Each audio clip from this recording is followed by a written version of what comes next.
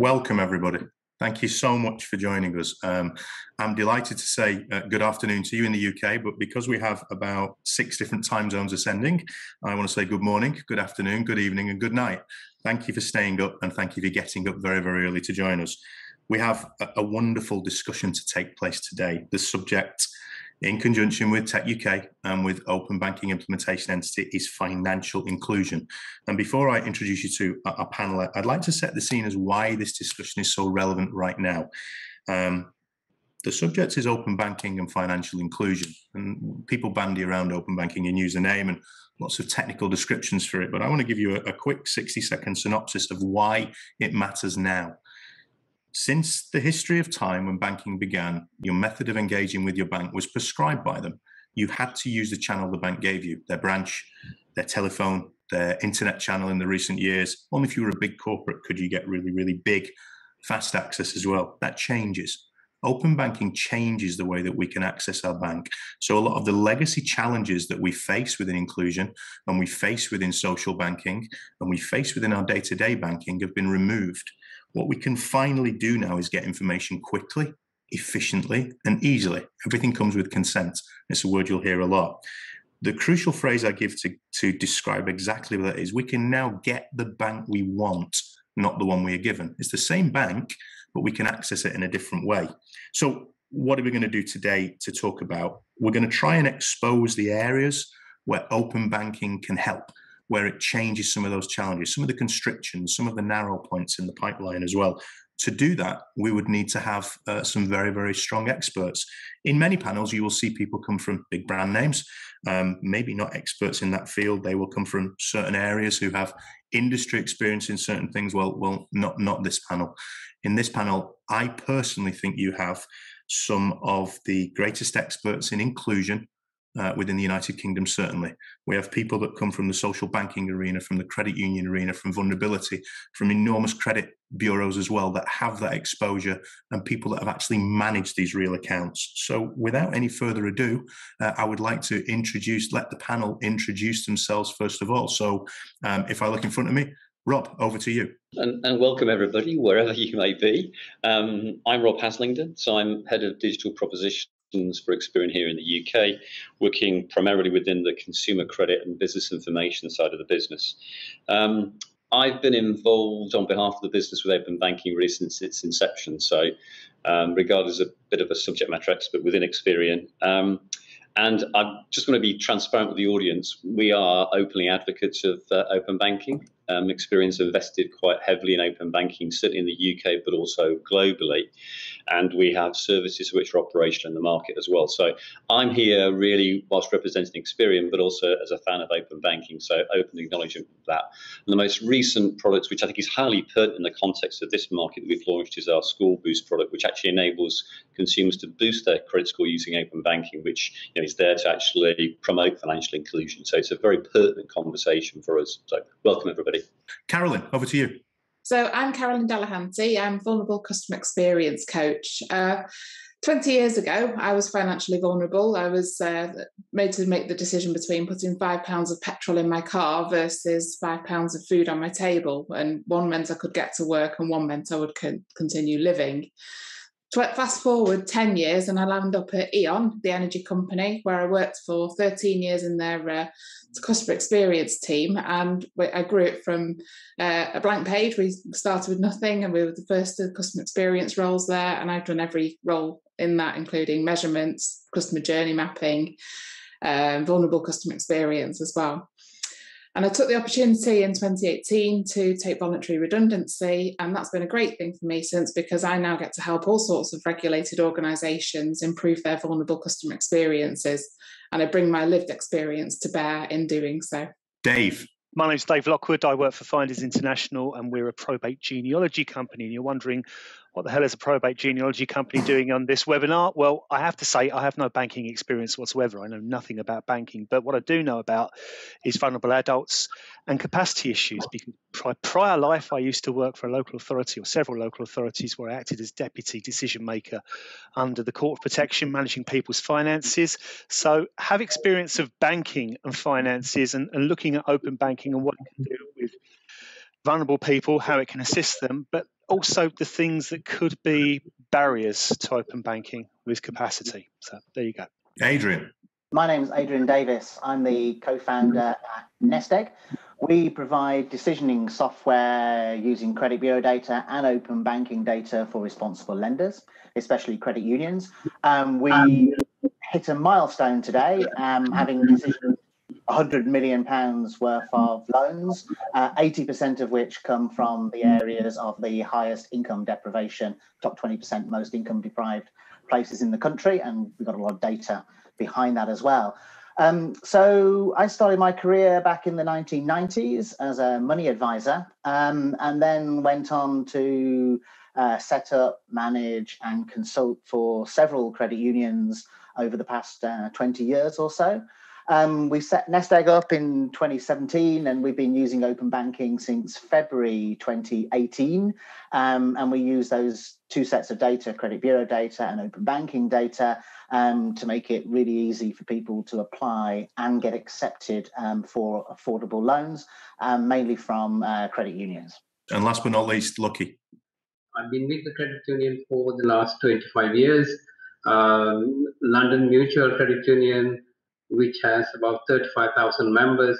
Out of that, uh, 20,000 of them are financially excluded members, so either part-time employees or, or unemployed members.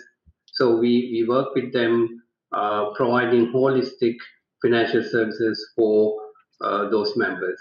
So I hope you'll agree with me when you've heard the panel that we have some very real empirical experience here, and we have people that uh, are very much involved in the practice of where we are as well. And it, and it leads us to make quite a sweeping statement, which is there is no magic wand for vulnerable financial behavior. There are iterations. There is no one policy that can change everything. But what's really important is we understand what those problems are first of all. So if we set that scene, if we say that financial inclusion covers a great deal of problems that a lot of people have, what are the big areas that we should focus on in open banking? What are the what are those key elements that we should look at to address first? So if we prioritize the challenges within um, financial inclusion, Carolyn, if I could offer that to you to say what you think about that, what's the big key areas you drag out? So it's, it's a great question because I think, but when people think of vulnerability, people think of what they can see and not what we don't know about people. So vulnerability is, and in many ways, over the last eighteen months, we've all become vulnerable because because of the unpredictable nature of life at the moment. So, you know, we need to just bear in mind that vulnerability and uh, vulnerable is a great big topic. So, in terms of the key issues, I think the most the most prevalent one at the moment is uh, financial um, vulnerability, in particular things like uh, financial domestic abuse and domestic abuse in it without the financial element.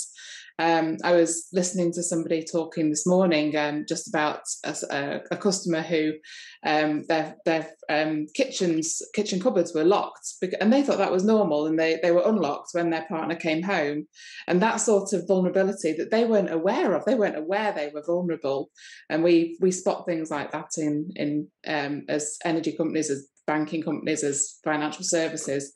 Um, we can listen out for things like that and, and help customers and give them a way out, which I think is very, very topical in the in the pandemic where not all uh, not all avenues are still open. Adrian, would you like to add some thoughts? I think it's probably worth worth starting, Simon, with with the whole question. The, the big issue is um, for people who can't access open banking. So the unbanked. So you've got to catch 22.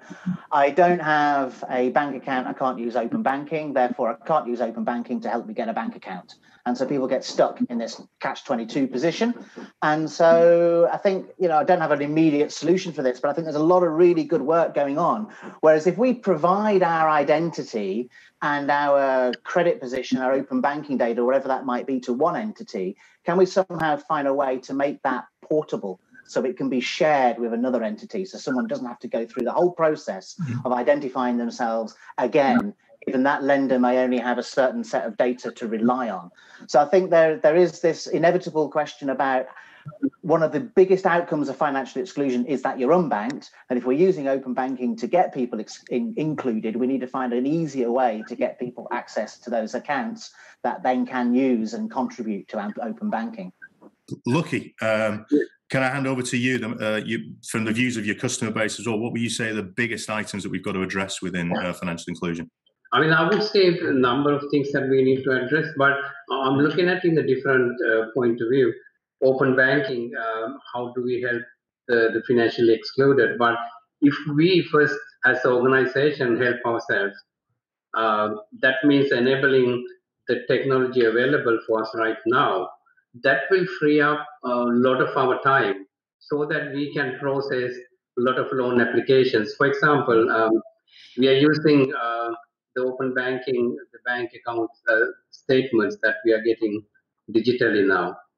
Um, so compare that with uh, one of our loan officers going through pages and pages of bank statements. Um, they need to categorize them, and then sometimes they miss some transactions. So we miss, we might miss some gambling, uh, uh, had addictions in there. So what we are looking at is that how we help ourselves first, and then uh, the other part will come naturally. So right now, what's happening uh, as a result of that implementation? Um, 40% of our loan applications are coming with open banking uh, bank statements. And now our decision making process is uh, quicker. That means we can process um, lots of applications. So th- that's how I'm looking at. So that will also benefit, of course, the financially excluded members. What you're saying is, is that actually the efficiencies in the process delivered by open banking, as well as the benefits to end user, are huge. It's a great answer. I mean, I think um, I touch upon a point that Adrian made earlier on. I think it, it, part of it's around helping people understand the value of their data. And I think one of the items that was quite fascinating that's come out of COVID is that by virtue of us basically not going out and about and doing what we do in our normal lives, you know, spending and shopping, we've managed to see what the impact of COVID would have in terms of our ability to, to save our money and put our money elsewhere. So I think that's quite important. So the idea of having a better understanding of your data and then how you use that for good, as well as understanding more about how you can proactively manage your money, I think is really important. I mean, the key topics that keep on coming back to the surface with open banking and the, the primary use cases around eligibility.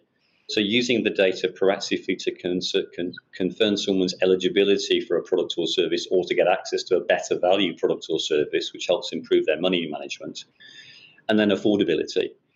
And one of the things that we found by analyzing transactional data with banks is the kind of a number of themes that have come up to light through the, through COVID that actually open banking is helping to expose. So, firstly, around financial resilience. So people have made perhaps no contribution to savings or pension pot the last year. That makes them exposed and therefore, you know, more vulnerable. Over indebtedness. So using, um, you know, an, a loan on a higher value credit product to actually fund the basic um, needs of life, essentials of life. And then the impact of um, income shock furlough redundancy and the analysis of bank transaction data and automated analysis, which Lucky just touched upon, enables us to reveal all of this and actually proactively use that information to support customers and understand more about their vulnerabilities in a positive way to help them. So I think that's really important. And Dave, over to you. I suppose the, the, the, the, I have a slightly twist on that question as well with you. We talk about financial inclusion for the living and yeah. for people who maybe have capacity as well. I imagine you've got quite a different view on those that have sadly passed away as well and the challenges that are faced in the banking regime. So expand away. Challenges for people that have passed away, um, especially when somebody's bank accounts and, and everything is now virtual, it's online, it's, it's, it's tucked away, and there's no paperwork these days. So, how do we access those details? How do we know that those details are there? Is there a register that somebody can go to? Sadly, I don't think there is. So the issue for, for certainly from a probate point of view, from what we're looking at, is knowing what there is out there trying to find what's out there and, and pulling things together. There are one or two, you know, things that are coming through you know, that you can identify through. Um, I think one one thing I'll call is Settld. I don't know if you've heard of that, but it's a, uh, an organisation that you can contact, and they will then contact, I presume, through open banking. Everybody that's supplying that person with electricity, energy, whatever, their banking, and that pulls it all into one. So, for that, that's a really big leap forward that we can then go to them and say, what have they got? And that information is pulled in for you. Mm-hmm. Um, the other issue as well I come from as well is a capacity issue. So somebody's lost capacity. So if they've made a decision to use something through open banking, how do we know that we've made that they've made that decision? How do we find that out? So those are the challenges that are there, and especially with traditional banking and different rules and everything. Every different bank having a different rule for how you deal with probate, a lasting power of attorney, a court protection order those are the you know those are the the the key points for me let's say what you've probably just heard there across the board is, is that the range of problems we face are very diverse. So we've got people with capacity issues, people with assessment issues. We've got people who have passed away when we go into probate. Probate accounts at banks, as a man that used to run 110,000 of them, they are an enormous challenge as well. Then you hear from a credit union from Lucky about how the efficiencies of the back office can actually help the consumer the front office. This is a wide subject. So we've got to specialize. We've got to uh, pick which bits we want to win. This goes back to the point of everything assessment is a huge subject. Assessment can be used for lending. It can be used for uh, it can be used for borrowing. It can be used for cash flow. It all boils back down to that. When we look at assessment, what can we look at for the benefits of it? And I'm going to put that to Adrian first of all, if I way. What can we draw from open banking for assessment, Adrian? I think you know, i think we've all seen open banking put forward as a really um, helpful um, tool for people with thin credit profiles. Um, but I think probably before thinking about what what can what how does that help, we also need to understand that from our experience, certainly people generally don't have thin credit profiles. They have a mm-hmm. thin credit profile because it's resting with one credit bureau and then some other stuff with another credit bureau and another stuff with another credit bureau. So actually, one of the problems open banking is trying to solve is also an issue for siloed data between the different credit bureau. So that's something I think needs addressing at the same time. But un- undoubtedly, open banking helps um, plug those gaps um, for people and lenders that are only using one credit bureau. The other thing I would add is taking it away from the individual credit assessment and thinking about portfolio risk. So the FCA has a concept around credit worthiness, which is made up of credit risk, which you might traditionally think of as being attached to your credit score, and affordability. Those two things make up um, uh, credit worthiness. And so traditionally, lenders will look at their loan portfolio by credit risk and think, this is how risky my loan book is. This is how many people I've got with this kind of credit score, which means this kind of bad rate. I think that's great for credit worthiness on the credit risk side for affordability, one could also use um, open banking data on an aggregate basis to understand how affordable your loan portfolio is as well. Mm. So, like in Nestegg, we use um, the 50 30 20 budgeting rule. 50% of your money should go on needs, 30% on discretionary spend, and 20% paying down debt and saving for the future if that's in balance, your loan is pretty much affordable. So if your loan portfolio is in balance, you know that you're doing pretty well in terms of meeting those FCA obligations around creditworthiness and affordability. So yes, it helps with thin credit profiles, but I think you know on an aggregate basis, it's really useful to understand the affordability risk of your overall loan portfolio too. Uh, Rob, if I can throw the same thing at you, where, where can we get this richness from assessment? Yeah, I mean, just to pick up on a point that Adrian made there, um, I mean, you know, our view is that open banking cannot and probably will not replace credit bureau information because let's be clear, there are two different sources of information there. One reveals information about your credit behavior, and the other reveals information about your income and your spend. So we've always maintained that the two are complementary and not competitive, and I think that's quite important um, to bear in mind. Um, the issue of assessment, though, is really interesting because I think the FCA has picked up on some of this now and started to realise the power that open banking data has around improving the quality of assessments that lenders can make because of the richness of data that is surfaced in the journey. Now, I think that's what's been quite interesting. And, we've seen, I think, in most recent research that we did, uh, nearly 60% of lenders said they'd employed open banking as a result of the impact of COVID because of the richness of data that's being surfaced to enable them to better understand risk, which to the comment Adrian just mentioned about firstly understanding risk across your portfolio and the overall level of exposure, but then secondly taking it down to individual level and looking at how you can then use that to personalize your engagement with the individual based around a better understanding of actually what their their affordability is. And it's now um, cascading into some what I call emerging credit lines and products such as buy now, pay later, where it's looking at what part open banking could play in something like a pay now, buy now pay later experience to better understand people's affordability. So I think it's it's an emerging and evolving landscape certainly. Um, so uh, the assessments is, is is really important. The other key point that I touch upon is actually the role of automated categorization of bank transaction data because that's gone from a concept to people actually operationalizing it now, and that that assesses that helps the assessment process because the speed and efficiency it brings to firstly processing large volumes of bank transaction data, then the quality of the insight that you can get and the speed at which you can then make a decision, and that's really important. And what we're seeing now as a trend is that many institutions are looking to deploy open banking categorization operationally to do some of the things that Lucky touched upon uh, previously about increasing efficiencies and improving the quality of the decision making process. Great answer. Carolyn, if I could come to you and, and shape the question a little bit, if that's okay.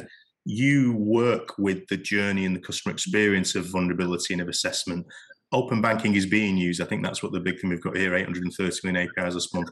How much has it changed the way that journey is done? Has it added richness to it? Expand and, and answer as widely as you wish. For just a moment, I'd like participants to put on customers' shoes. Um, I'm going to talk about Bob. He's um, on his, he's got his last five pounds in his pocket, and he takes that to the bookies and he puts it on a horse that he's certain to win, and he loses. And he can't face going home and telling his wife that he's put that last five pounds on the bucket on the horse and he lost it. And so he puts ten pounds on. He goes into a bit deeper into his overdraft. He puts ten pounds on an, on another horse, and this cycle repeats itself for the next half hour, forty minutes, fifty minutes, and he loses. And he goes home with a significant amount less than he walked in with, both in his pocket and in his bank account. When you go, go forward to taking an assessment, requires full be, requires the participant to be open about their banking. And I have no doubt that the banking that assessment experience, where the customer says, "Yes, I open, I'm open to open banking, so allowing open banking to use my uh, to use open banking to do my assessment," it's a better experience. But being honest, I think the words "open" and banking put off a lot of people mm. because they can't be open. They haven't told their wife that they've lost that money and that they've got this betting habit. They haven't told their parents. They haven't told their ch- their children. And so there's certain things that they can be open about, the water bills, the energy bills, but there's certain things that they don't want to be open about. Mm. So I think being open and banking is a big thing for people. And I, I ha- I've seen it time and time again where they say yes, the experience and the outcomes are better but getting them to say yes is a big is a big matter of trust and how they talk about it. You know they, they, it's a perception and whether it's right or wrong it's a perception about about what the, what's going to happen with that data and where it's going to be used and how it's going to be used. And i think there's a general lack of trust between vulnerable people and their um, the financial institutes that they um, work with at the moment, which doesn't help. You know, you're building on a bedrock of mistrust, so you've got to address that before we can address anything else. For the record, I, I violently agree with you. I think the the fact that people have got to know what's going to be done with their data is so important. I I avoid that issue of uh, how far people go with it. But D- Dave, if I can bring you in here at this point as mm. well, there's an interesting point there from the experience within uh, London Borough of uh, whichever one I won't name as well that you manage as well. Would it have been a lot easier for you to get the client's information if open banking was there to get the consent for copies of bank statements for the relevant returns you made to manage their finances? Well, I'm trying to make it in the real world now. Would you have seen that as something that helps? It, it really would have been the, the opportunity to, to go to somewhere and say, we have this client, here's his court protection order, tell me everything about this client financially would have been fantastic. And, and we still see that service we're still trying to run that service through finders for, for local authorities. So um, to have that opportunity there to find the information is so key to somebody that is that knows nothing about this person. I'll give you a case study. For example, somebody goes into hospital. They have no background information. They're found on the street wandering. They're taken into hospital. A social worker then places them into care and then says to the local team, "Can you manage their finances?" Well, that person they know nothing about. So to have you know, they know their name, they possibly know their national insurance number, and they can then go and ask somebody to do that search and try and find that information for them. It really, really would solve uh, a lot of um, a lot of problems. There's a huge opportunity here for open banking to help and to support those vulnerable adults and those people that manage their finances. This is a real opportunity for something to be done, as well as you know, talking about the the issues of people and their, their gambling habits and things like that, and you know, you, you could find out more about that person, what they were, what they were previously before they lost capacity, know their likes, their dislikes, know what they used to do. It would give you so, so, so much more information about that person. If I add today's point, one of the things working in that arena was it was as important to know what people hadn't spent as to know what they had spent because if they hadn't spent something was going wrong. And it, we always concentrate on affordability and assessment as well but actually the lack of activities that. If i can pass to you lucky now that i suppose the question to you is as somebody with 40,000 customers and 40% of them using assessment and using it via uh, london mutual credit union as well how did you go about that? How do you gain that trust within the client base to get them to share the data?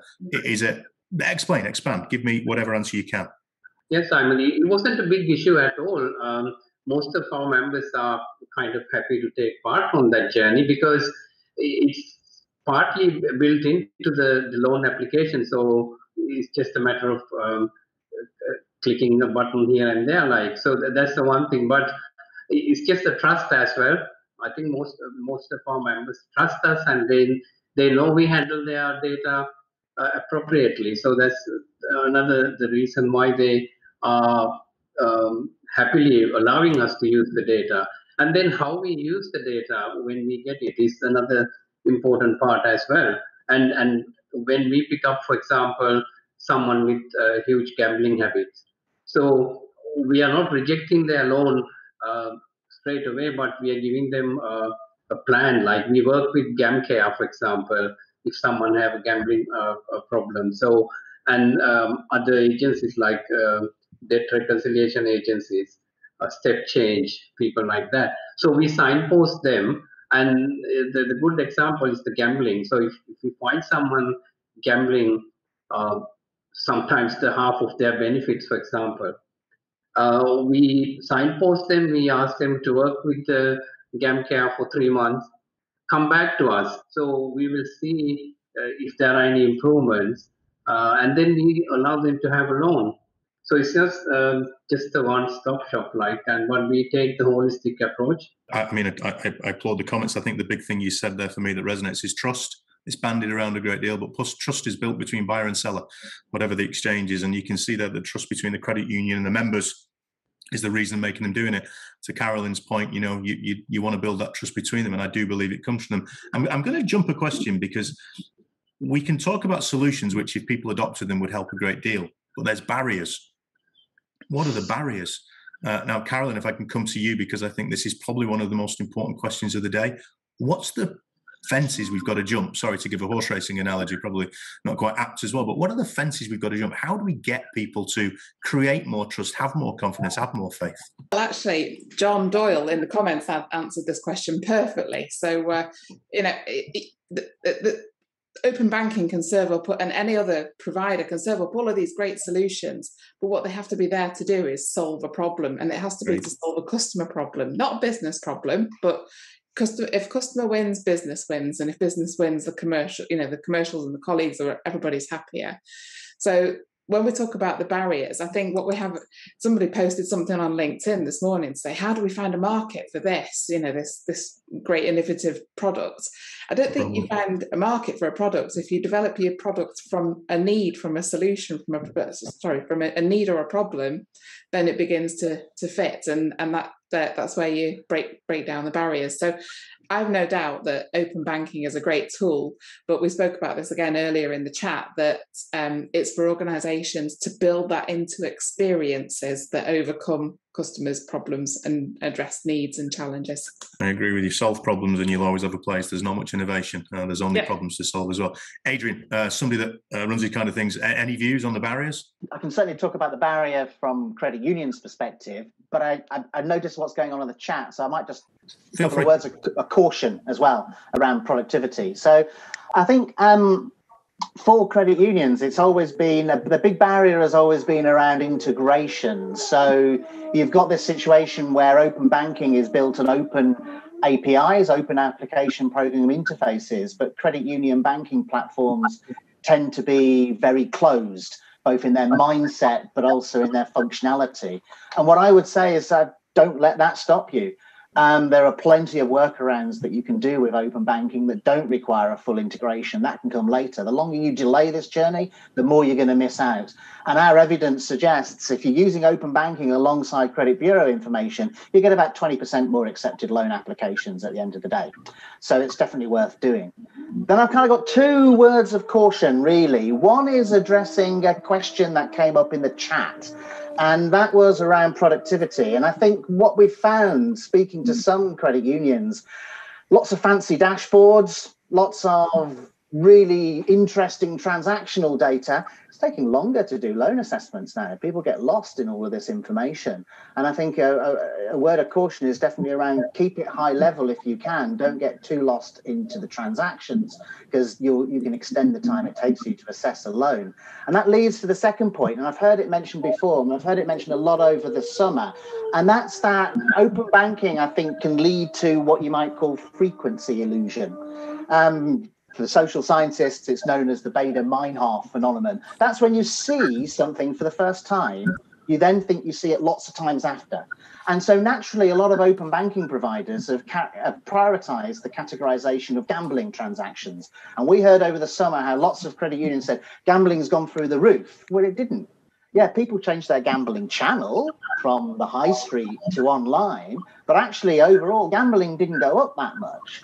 And what about the hidden addictions? So, as a nation, on average, we spend twice as much on sticky buns, cakes, and biscuits than we do on gambling. But that's a hidden sugar addiction, and we ignore that. We don't see alcohol, we don't see drugs, we get focused on this gambling thing. How do we make sure that when we've got access to all of this information, that we try and we make sure we're aware of our cognitive biases?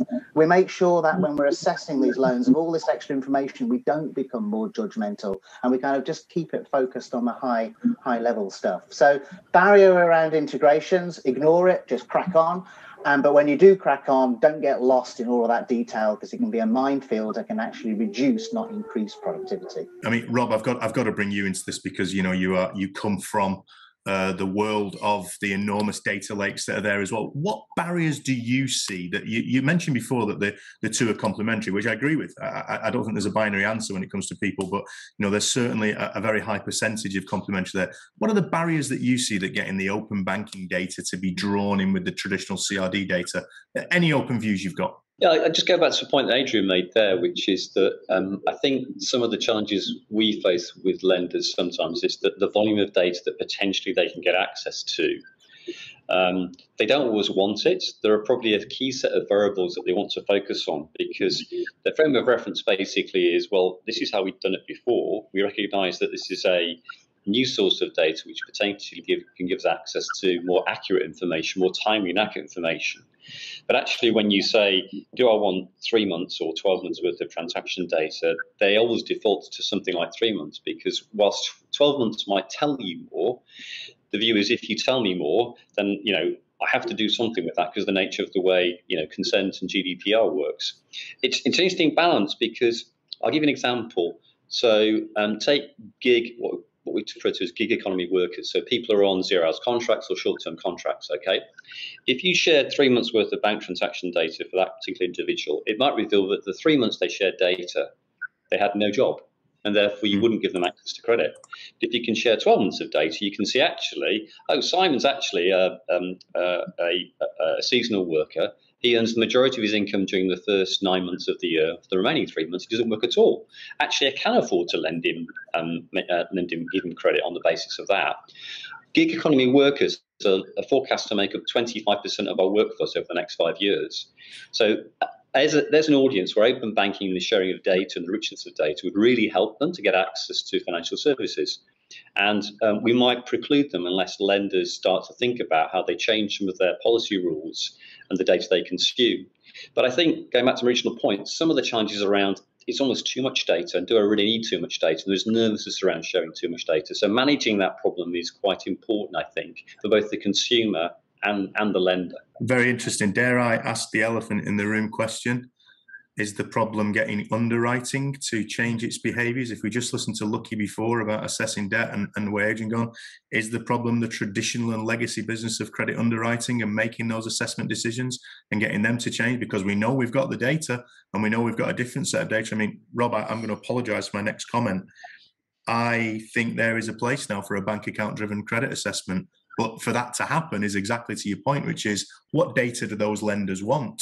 I mean, as a, as a follow on to come back to you, I know that that would be an enormous step change for most mainland lenders to change their credit assessment wholesome. That day's a long way away, surely. Did you agree? Or I absolutely agree. So again, I just want to go back to this point. You know, when you look at let's let's firstly divorce the credit score, which is what people commonly refer to, to the underlying credit information. Okay, open banking will not reveal the level of data that you get within the bureau about people's credit behaviour. So that's the first point. But to your to your point, though, we are seeing an evolution starting to take hold now around how we can improve credit scores using other sources of data or adding to your credit score against some of the information such as you know, data sources like open banking offer into the market. But you're absolutely right. The challenge with that, because a lot of this is hardwired into lenders, is how do you then flex your credit policies to reflect that? Innovative we've got we've got a, a cross section of innovative innovative lenders that are starting to do that. Fintechs are leading some of this but even some of the more established institutions i know at least one or two are starting to use open banking in a more imaginative way to kind of flex their credit policies because they see the benefits of them.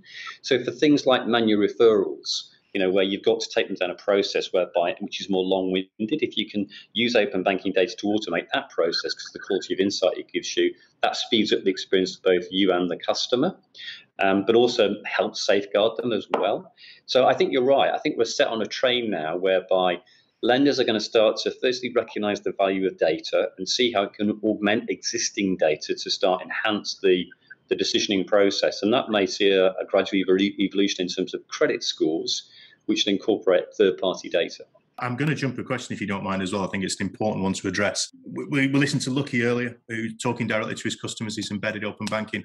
Caroline's working with large organisations. Dave's um, working there to get probate. Obviously, Rob, your customer base is enormous as well. How do we change the mindset of the large population owners? Not so much just the banks, the energy companies, so we can get rid of poverty tariffs. How do we get better information to local authorities? Ginny, Genevieve just asked the question mm. on the chat about how do we stop inclusion before it happens. Visibility is the key to a great deal of these things. Cash flow is king. If we can see where people are cash wise, we know an awful lot. Carolyn, how do we get industry to embrace open banking to potentially not help them financially, but to help a great deal of their customers financially? Well, we, and we see it would help them financially, both hmm. customers mm. and businesses. But I think ultimately this comes down to one of two avenues. Um, it's whether people connect emotionally with the need. Maybe they've seen it, heard stories in their own customer base or their friends and family. And if they don't connect emotionally, then it's the risk based uh, factor. It's, you know, it's am I at risk of being um, fined? Am I compliant with regulations? Um, am I uh, other things going on that I don't know about? You know, we see so many fine regulatory fines these days that are for things that people that the you know the senior leaders weren't aware of was going on or purported to not be aware of. Um, so it's, it's, it's it connect emotionally with it or connect on a risk basis. And then when you do that, when you see the the factors that are coming to play and actually the real experiences that people are, are, are facing, then you can begin to look for solutions. And I think open blank, open banking is a big springboard in the in many of those problems. If you were to journey map your customer's experience, you will be able to visibly look at hotspots on that journey map and say, open banking could help there, open banking could help there. And it will be a gradual thing. It's not like, you know, you hear people say digital first and you might want to be open banking first. But let's just go for better, not best, because best seems too far away sometimes. Better is more achievable. Lucky, over to you. How do we get industry to open up to do some of the things that you've done in anger? How do we get them to embrace some of the flexibility open banking is going to give them for their vulnerable customers? I think um, what Caroline uh, said as well, but coupled with that, um, I, would uh, kind of hit heavily on publication of case studies uh, with uh, some good statistics to show that how they uh, how the open banking can save money for the corporations like some Siemens and HMRC. Uh, how can they work efficiently? And once they understand that, uh, I think they will automatically will think, oh, why didn't I think that before? Kind of thing. So uh, the good case studies and uh, facts and figures. Dave, you work with these organizations that you need to get data from how do you get them to engage? How do we get them to real i mean can i just qualify this? I'm the person that works in mm. open banking with hmrc so we've got a bunch of work going on. It's been unbelievable to sit there and say that a sovereign government is one of the fastest in market some of the plans they've got for tax regimes heads of duty salaries benefits are just staggering. But it's a precedent isn't it but I, I, know what I can do in my little world. But I have a fantastic brand behind me of the the first standards body for open banking in the world. I've got a, a massive advantage. The biggest thing for me is is convincing that sweet C-suite, the boardroom, to understand it, to actually get what this is and how it isn't a threat to them. It is an advantage to them as well. Dave, what, what would you do? What's the magic one to get industry to embrace it? Good question, Simon. I, do you know what? I haven't got a clue how we would do it. Uh, it, it you know, it, it's it, it's such a um, a difficult thing to cross when somebody say loses capacity or something like along those lines or somebody passes away and what their responsibilities are I, I it's a scary proposition. As, I spoke to a, a, lawyer this morning, okay, and, uh, about this. Said I'm coming on this webinar and give me some feedback about what you think about banks. And a lot of it was about traditional banking, and and that's I think one of the sticking points is traditional banking needs to move forward and needs to embrace the new technology that's there with with what you've got with open banking. Um, you know, there's no hard set rules at all out there about what people can and cannot do. So, does there need to be some statutory guidance from government mm. about what they should do? You know, the say we we you know when we're a deputy or uh, acting under a lasting power of attorney you're acting under the mental capacity act. Yeah. and there are rules of the mental capacity act as how you're supposed to do you're supposed to behave. And there are five key principles and one of those principles is to treat people as though they have capacity. Do they treat people that have capacity? I have examples where clients of mine were denied um, you, know, uh, you know had to have a you know a, a prepaid meter but they could afford to pay a direct debit every month, but they weren't mm-hmm. able to because they were seen as being vulnerable. So it's education, I think. Yeah, coming back to it, it's education. That's what we've got to do. We've got to educate everybody to the terms that vulnerability doesn't mean to say that mm-hmm. you're not capable of having something like open banking, having access to a bank account, having access to a non prepaid meter, a direct debit. And you know the work that say look is doing with with with the, the credit union and, and opening things up that is the way forward so if that could be rolled out nationally fantastic going to jump across slightly sideways here now. We've talked about assessment a great deal. I think we should touch on the payments market and, and how that works because obviously, without a payment, there is no balance, and without a payment, there is no assessment. Adrian, how far away are we from a non-risk, very low-risk payment instrument? I'll rephrase that. At the moment, a lot of the data we rely on for categorization is card-driven because the data within cards is so much richer than the bank payment data. It, it, it, fundamentally is by its nature. How far are we away from the prepay meter that Dave just talked about? They can pay it via their phone automatically. We know that Siemens have done it. We know that it's coming along. Where do we go, Adrian? What's there from payment without card, account-based credit score, no poverty tariffs? Sorry, that's a difficult question. I think one of the big issues to address, though, um, just to answer part of that question and then maybe see if there's some more expertise on the panel is around the fact that um, with people facing financial exclusion, so much of their payment methodology is already pretty patchy. Yeah. So what we see on the open banking data very often yeah. is um, if we see it at all, we see a lot of people cash in, cash out, um, and it's cash spend. It's very difficult um, and uh, there are a number of reasons for that around trust, around getting hold of the money before direct debits come out, because you, you, need you need to put food on the table before you pay the gas or electricity. So that can be quite patchy. Um, and the other big thing we see on open banking data is transactions between different accounts, where it makes it very difficult to understand income. So I think there's a long way to go when a lot of financially excluded individuals are still living a cash economy for a variety of extraordinarily good reasons, and we wouldn't necessarily want to remove those. And also, um, the kind of more um, sort of left field or off the radar lenders who would never accept these kind of payments. But I think it's a huge opportunity, especially when we look at things like the, you know, the, around the poverty premium and how much more it costs to be poor. And I think what we need, going back to Lucky's point earlier and points that people have made, is good, solid, effective case studies to demonstrate to large institutions that this can work and have a direct benefit on their vulnerable customers. I'm not going to ask you the question about a bank account against credit score. I hope you don't mind. I don't want to throw you under that bus. Um, Lucky, um, what what difference can open banking make in that respect? Do you think you can see a, a new dawn for your customers, new ways of servicing their bank account, new ways of getting data in, get them away from that cash society? We're coming up to the difficult question next. Any views? Yeah, definitely, Simon. I think uh, our, our, members are benefiting already, like uh, faster payments, for example. Uh, we are switching away from legacy BACS payment type things uh, that members has to wait three days to get their money, and now within a few minutes that they will get their money if they transfer it from one account to the other.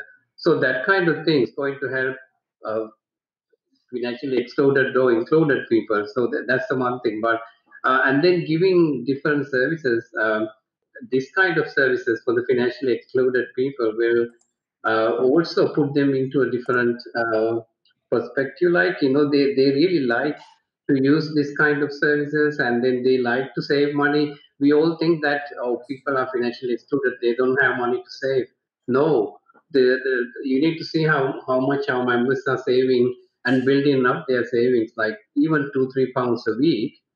Um, it's just facilitating uh, that kind of products and services. So uh, open banking for us is uh, next best thing happened after the size of bread. Like you know, we are, and as an organization, we are saving a lot of money, uh, switching off from legacy systems to uh, the new technology, API-based technology. Mm-hmm. And of course, as a credit union, then we will pass those benefits. If we make profits, we share with the the, the members, and and um, that money we also use to improve our services. So right now we are looking into making use of uh, open banking, credit bureau data, put them all together and coming up with uh, the machine language uh, kind of things to help us to uh, further improve our loan assessment process. Yes, so it's going to help us uh, in years to come, I think. I'm going to move on now to the elephant in the room. Jim Purves has just put a, a, a note in there about that the, the discussion is incorrect. I did explain at the start that financial inclusion covers many areas, but the largest one, the hardest one without any doubt, is the unbanked. Now, whether or not they have a bank account is one conversation. Uh, whether or not they have uh, a POCA account, which I'm very familiar with as well. For the record, I personally think the POCA account is the solution to uh, full financial inclusion to allow people to make payments from a POCA account using open banking, which they could, um, and just make one deposit from it to stop the cash. We know that companies like PayPoint, AllPay, um, Payzone, uh, they they operate all the cash payments in here. So the hardest question to the panel what do we do about the people with no bank account? How do we get them? Adrian, you touched upon it earlier. I hope you don't mind if I come back to you first, sir. Sure. So I think, you know, trying to think financial exclusion, the first time I heard it was sort of late 90s, and yeah. typically it, it, encompasses five, four things. So um, access to a transactional bank account is one, but also a lack of access to credit, savings, and insurance are the other. And I'm sure we're all aware of loads of really great case studies, some of which we're hearing here about how open banking improves access to credit, can certainly help people improve their um, record of savings. And I've seen a lot of good stuff going on in the insurance marketplace as well. And so I just go back to this idea really around and it, it's slightly left field to open banking, but it just it always amazes me that I spend ages getting all my ID and everything together in order to access one service in one provider. I just can't chunk that up into some mm. token of some description and just go give it to someone else, and then I access those services. So I think the solution to so yeah, you, you can't really be using open banking until you've got that transactional account. But look at all this great opportunity there is to really help people out. We've got loads of evidence on the panel and no doubt in the audience how really effective this can be to reduce the poverty premium and help people budget better, help people access more money. But to me, the secret just lies in I've made all the effort to get, you know, for example, an account with this provider, can I just not use that evidence to open an account somewhere else? The portability, the kind of decentralized approach to identification, of which open banking, of course, provides a could provide a key component to that. And also, you know, it may be from my experience and i've you know when assessing loan applications over the years someone might not have a mainstream bank account but there's usually some way of getting electronic transfers into some form of account so there's there's yep. usually going to be something to work with and maybe we can use that to leverage a more effective um, current account but it probably goes back to your whole point about convincing some of the big players about why um, enabling access is good, good for their business and, and, and good for their customers Dave, uh, as somebody that's probably managed quite a few people with no bank account, uh, yeah. I would be very interested in your thoughts about how do we fix it? Well, it's interesting that the post office card account comes up because that was the bane of my life for many, many years. Um, trying to get information out of the various people that uh, juggled that account. It went from one provider to another provider to another provider. I, I think it's gone now, isn't it? Uh, they were trying to get rid of it, but uh, but there we are.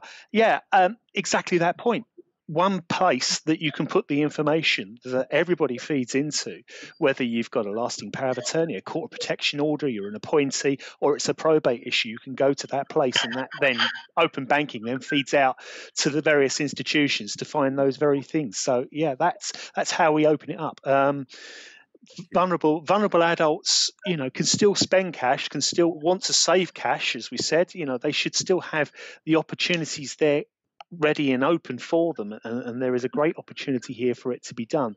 But as I said, the, the, there are so many obstructions in place from the legacy banks, let's say, and, and, and the things that they've done over the years, um, that it's going to be very difficult. But whoever cracks it, fantastic, and um, I'd love to work with them. Let's say to try and get this get this out there. Carolyn.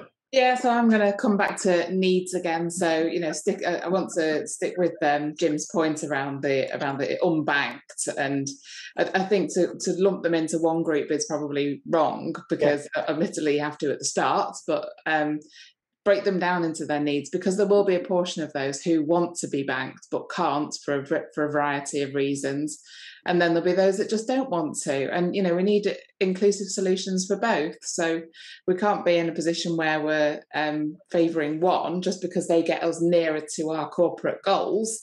You know we need to make sure that we're coming from this from the right moral position and by doing so we'll address needs we'll we'll begin to excel we'll get a better reputation as an industry and we'll move into a position where we can tr- where more people will intuitively trust open banking. So i think understand the needs of those unbanked, map their journeys, look at where open banking can help those that want to be banked, and then look at the unbanked experience and see if there's any place for open banking in that, or indeed if that's a, another uh, service in itself.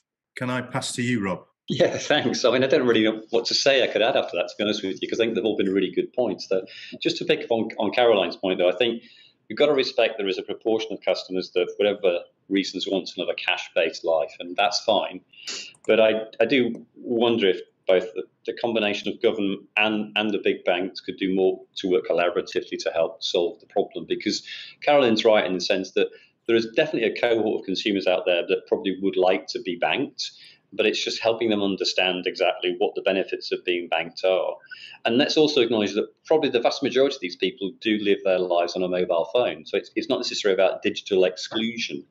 It's about understanding the benefits of having an account and making it easy to be able to access and manage your money in that account.